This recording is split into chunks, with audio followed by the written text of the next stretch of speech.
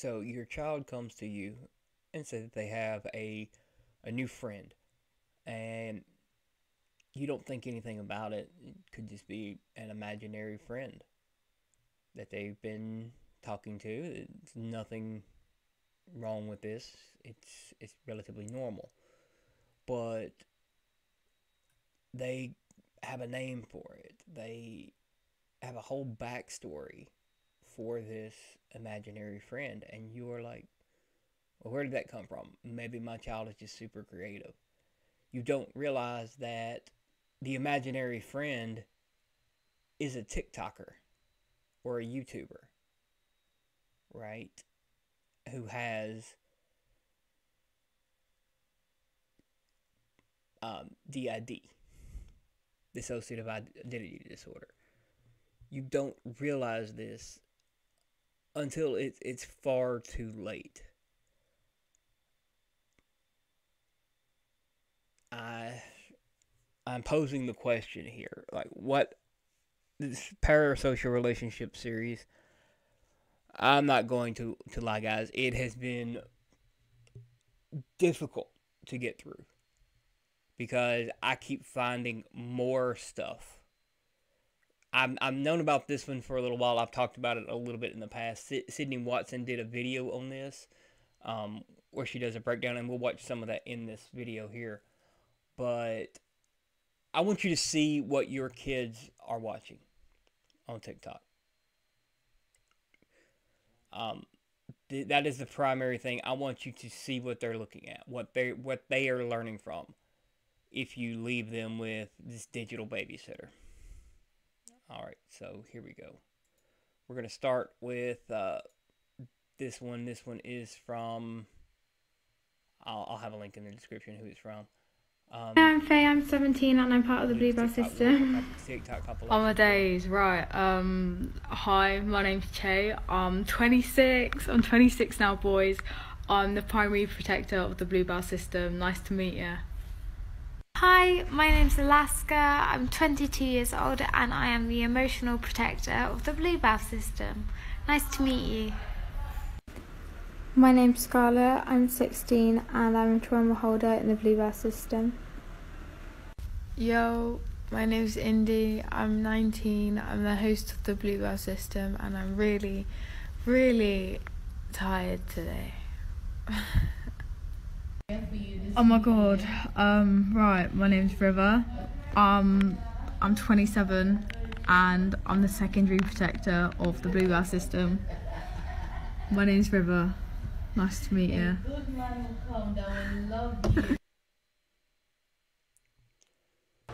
Hey, it's Cole again. Um, I've also seen the question floating around a lot what is a switch? So, a switch takes place when two alters basically trade places with consciousness. So, right now, I'm fronting as Cole. If my primary protector, Landon, was to front, we would have to switch. Basically, switching who is in control of the body, who's fronting. And yes, there are definitely signs that I'm going to be switching soon. Not always, however, the majority of the time I'll start to feel very dissociated. My thoughts will get really fuzzy. It actually feels like my thoughts are being pulled from my head. I'll start to hear my voice and other sounds like through a tunnel, kind of like echoing. Uh, Sometimes I get really nauseous and sweaty and anxious. However, fighting a switch which means not letting it happen naturally, can typically cause a lot more anxiety and headache. If you watch them, they all do the same thing. I'm mentally stable. I have dinner at a normal hour, like 6 o'clock. Oh, oh, I have dinner at 6 o'clock, yeah. Um, it has to be at 6 o'clock, though, like exactly at 6 o'clock, um, or else bad things will happen. You have dinner? I have dinner. Might be some issues later, but I have dinner. I would have dinner right now, but somebody ate too big of a snack earlier, so now I'm not hungry. Dinner? it's more like breakfast for me, because I woke up 10 minutes ago.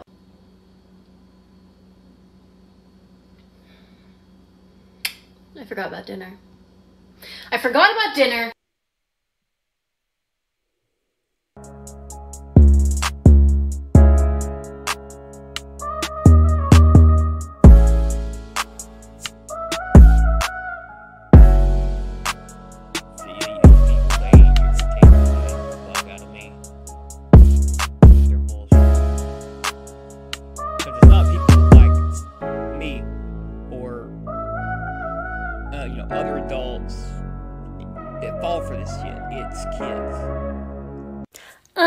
Mentally stable. I do my homework in a timely manner. I didn't do my homework. No, I didn't do the homework in a timely manner. I did a month's worth of homework in one afternoon. That's just how I roll. But there wasn't any homework. Was there homework? Was there homework? I didn't I didn't do any homework. Okay, no. No, there wasn't. Don't scare me like that. Jeez. Oh, shoot. Did somebody do the homework? Alex? Cindy. Cindy? the little did the homework? Oh boy. Okay. Um, and there's a unicorn drawn on this. Okay. Uh, yeah, this will be fine. Oh, the teacher's collecting it right now. Okay. Um, and yep, that should be good.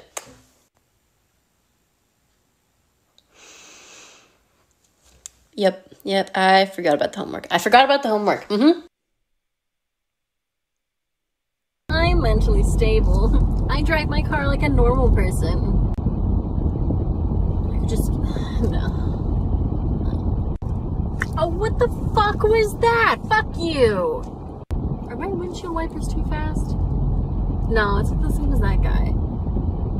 Oh, but they don't even have them at all. Maybe I'm overreacting. No, like I need to see. But they're going, wait, and maybe just like dial down one? Where where are we going? Dentist. I have a dentist appointment today. Shit. I'ma go go back! Rock! Mm, Oh shit, I missed my turn. I'm mentally stable. I do the laundry every Tuesday. I do the laundry. Oh shit. Laundry's done. Wonder who did that. You guys do laundry? Did I do the laundry?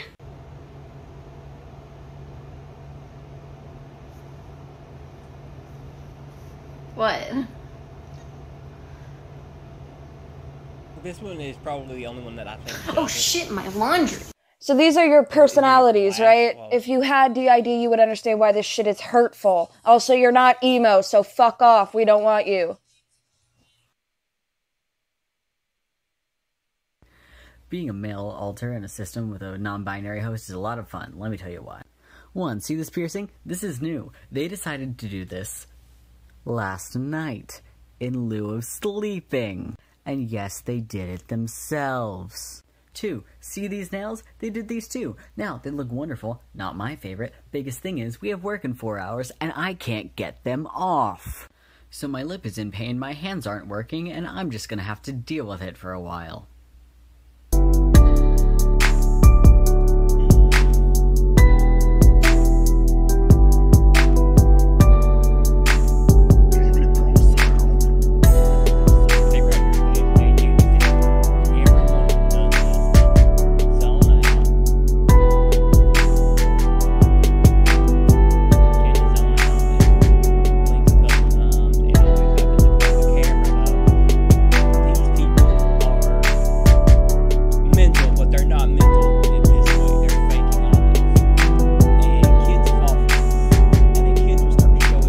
Symptoms.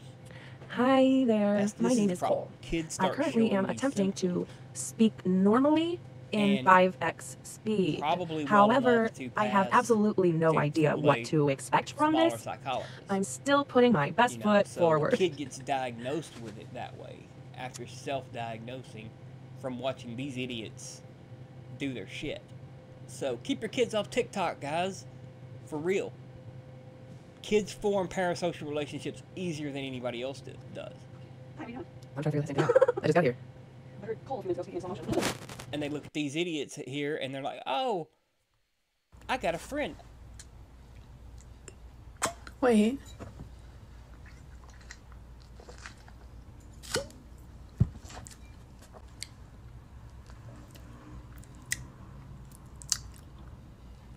Pomegranates taste ooh, tastes more like beets. Granites.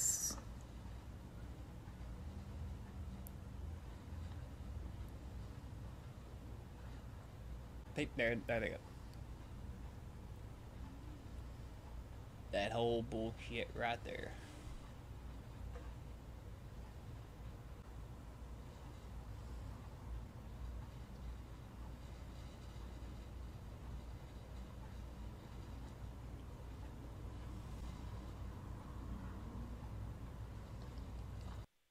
But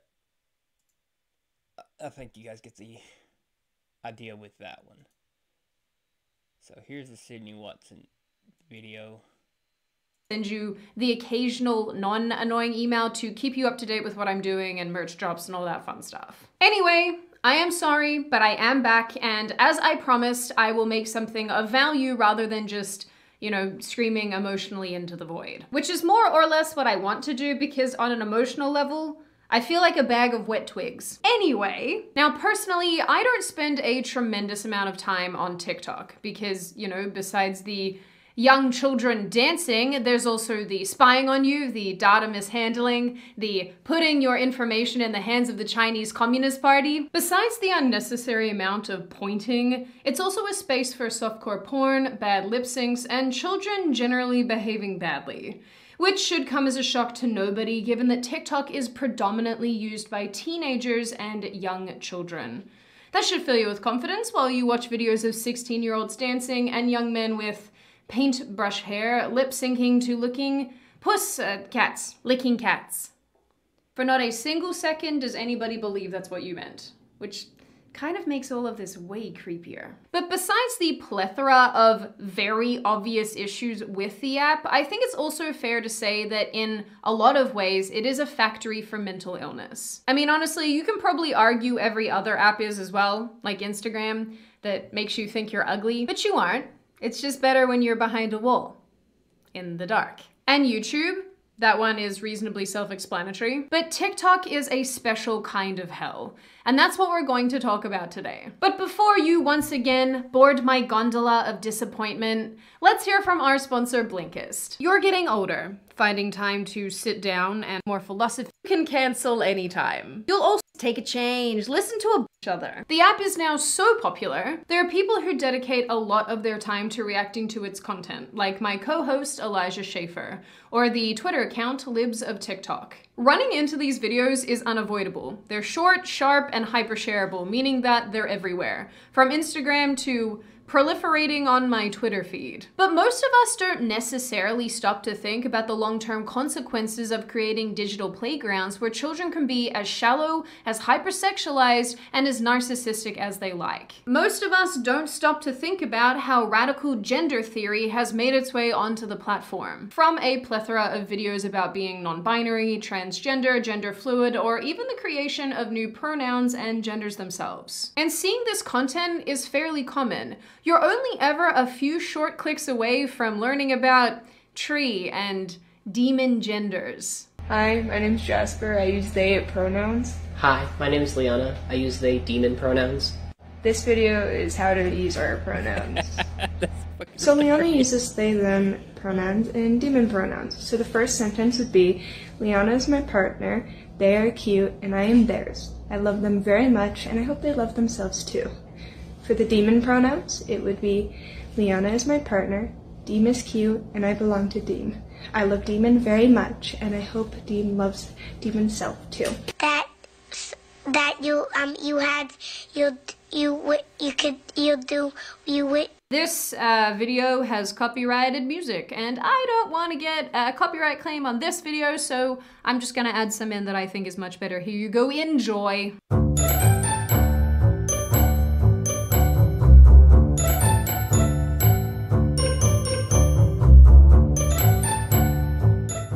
Is why when people ask me if I have hope for the future, I'm like, Over the past six months, we have been investigating as well as exposing the truth behind all of these food processing.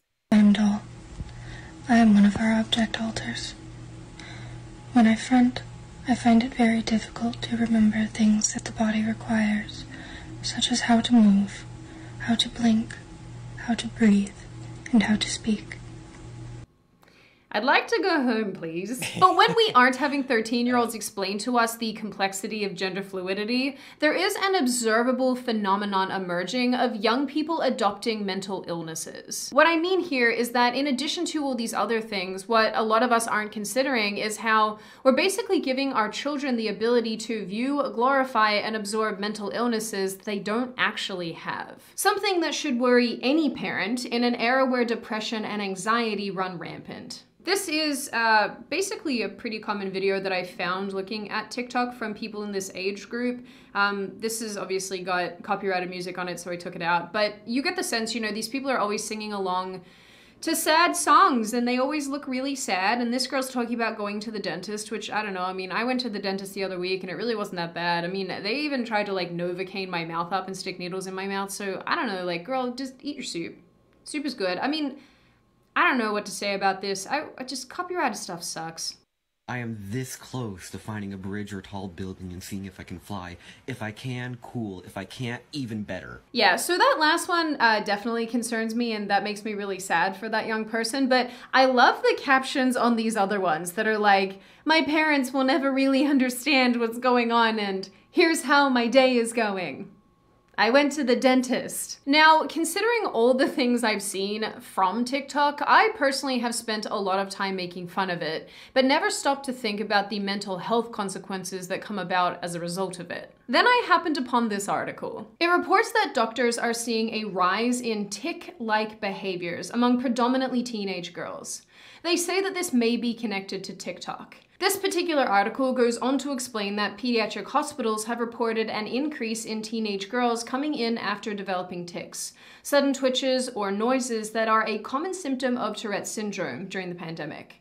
The sunrise is unusual, with tics typically occurring in boys, not girls. Experts in the US, Canada, the UK, and Australia studied the patients for months and consulted between hospitals, finding that the common factor between the girls was an interest in watching TikTok videos from influencers who said that they have Tourette's syndrome. The article goes on to add that researchers from pediatric hospitals published a study in August, suggesting that since March 2020, referrals in the US, Canada, the UK, Germany, and Australia went from 1 to 2% to 20 to 35%. I'd like to note here just really quickly that I'm not saying that all of these girls are pretending to have tics. I'm sure some are, I'm sure that's the reason behind them doing it, but some of these might be entirely legitimate, given that tics can in fact be triggered from watching other people tic. I just I just want to make that clear. I've got to be honest, when I started writing this video, I wasn't expecting to find an article about how young girls are developing tics from watching TikTok videos, but what did I even really expect?